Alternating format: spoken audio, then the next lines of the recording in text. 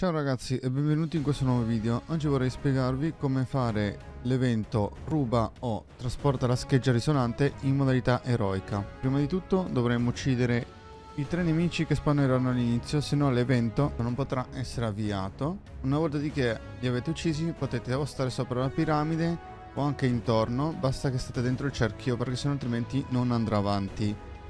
Dopodiché dovrete uccidere qualche nemico all'inizio e vedrete che spawnerà una pallina. Questa pallina può essere randomica, cioè vuol dire che tutti i nemici che ucciderete potrebbero nascerne una. Ovviamente fate molta attenzione perché alcune volte non le vedete, quindi guardate sempre in giro, fate un po' di salti in aria per essere sicuri di vedere tutto lo spazio circostante della piramide perché alcune volte non, non si vedono e si fa fatica.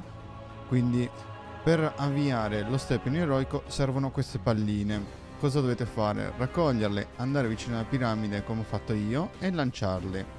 In tutto serviranno 6 palline per avviare lo step eroico. Ovviamente se non si attiva subito alla, alla, sesta provate a lanciare anche un'altra pallina. Ovviamente cercate di lanciarle il più possibile se ve ne spawnano.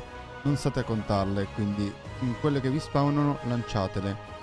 Dopodiché arriverete a una fase dove ci sarà una cupola. Ovviamente sono due fasi che ci saranno nel percorso. Questa che state vedendo e un'altra. E cosa dovrete fare? Dovrete distruggere queste piramidi o queste forme strane e dovrete uccidere tutti i nemici che ci saranno dentro la cupola. Se no altrimenti, se non fate queste cose, la cupola non scomparirà e non potrete avanzare con la piramide. Una volta che avete fatto questo, tornate alla piramide e lei eh, potrà avanzare.